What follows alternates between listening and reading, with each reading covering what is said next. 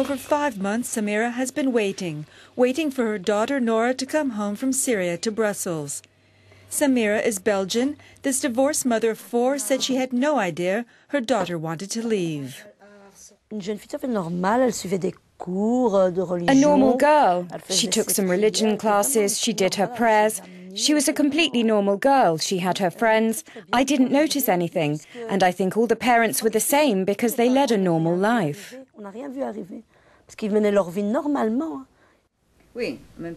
Although her daughter became progressively more religious, Samira said there were no warning bells. Shortly after her 18th birthday, Nora quit school. She just turned 18, and I said, Listen, you need a diploma. It's your last year of school. But she said, No, I don't feel right. I want to quit school. I'll go and sign up at the employment agency. I want to do something, being able to wear my headscarf. I said, All right, okay, as long as we have food in the house. And she quit school and she started taking more religion courses to deepen her faith. And after several months, she left. Et après, euh, quelques mois après, elle est partie. Nora left for Syria in May, where she married a fellow Belgian from her hometown. Her husband was killed three weeks later, but Nora has not come home. Euh, Nora is one of the estimated 300 young Belgian Muslims who's gone to Syria to help.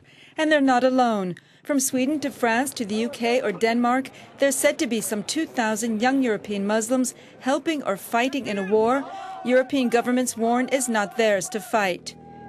And now there's a growing concern that the real threat is when these so called foreign fighters come home, exporting this radicalization back to Europe.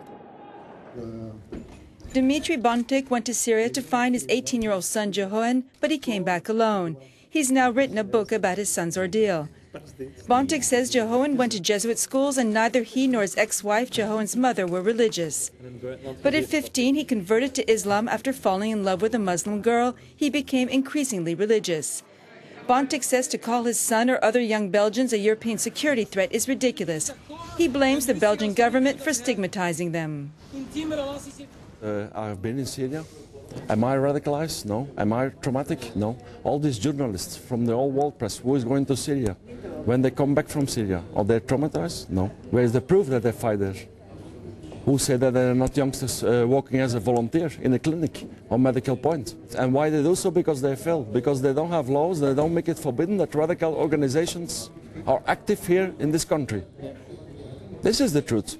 Nobody of these politicians, they ask the reason why, why youngsters are going to Syria. This is the point. Why? This question has been part of a national soul searching over the past six months, a soul searching which has intensified since the number of young Belgians killed in Syria has increased. And also a national awakening when per capita, Belgium is the European country with the largest number of foreign fighters in Syria.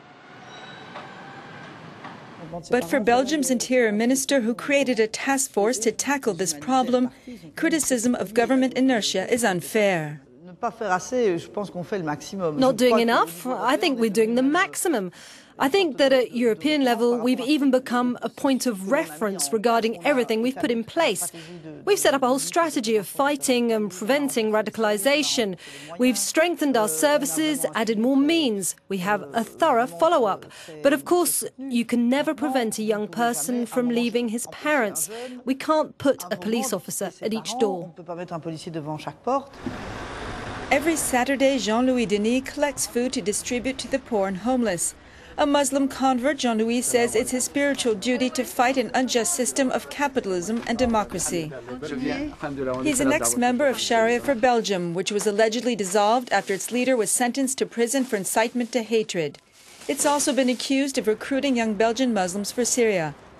And while Jean Louis is open about wanting Sharia law introduced in Belgium, he denies his group preyed on young people who were lost or vulnerable. They helped me with the poor. They wanted to change this corrupt capitalist system, this unjust and perverted democracy. They really had a thirst for idealism.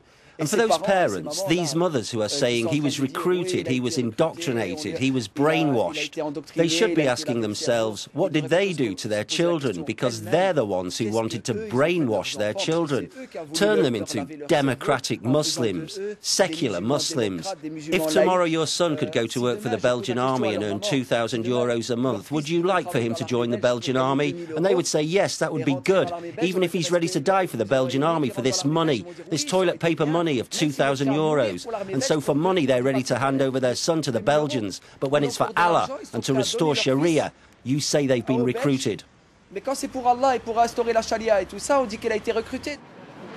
Chantal is not her real name, and she asks that we don't show her face.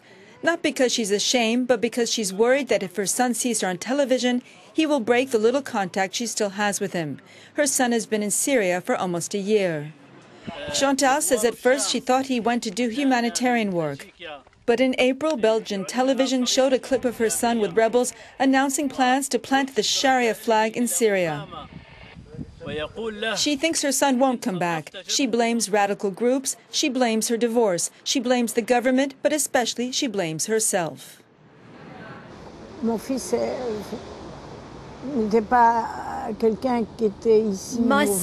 wasn't someone who was bad.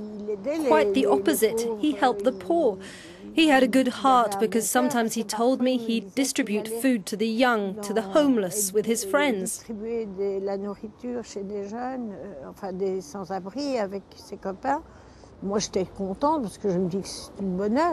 Me, I was happy because I said this is a good deed, but it was the hidden face of radicalization and his leaving for Syria.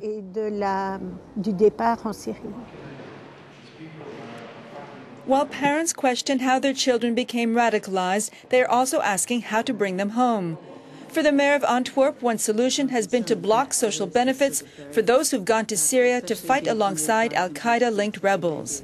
I have already had 33 people uh, stricken from the public records. They are no longer citizens, they can have no social rights, and when they come back, if they should come back, of course they can go nowhere. They have to report themselves, and at that moment, we can arrest them and uh, interrogate them about what they have done in Syria because we are well informed about what they are doing there.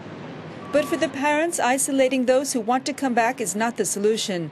Dimitri Bontinck is confident he will bring his son home soon and get some answers. In this situation, not only me, but all the parents uh, from who the youngsters are in Syria, you are thinking, did I fail as a father? Did we fail as parents? Uh, did we do something wrong? You have many questions, you know, and until today, nobody have an answer on that. And for Samira, her questions are in a letter which she hopes someday her daughter will read.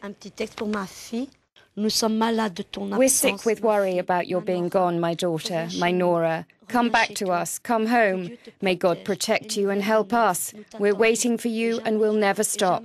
Our life, my life, stopped on the 20th of May. I love you. Je t'aime, maman.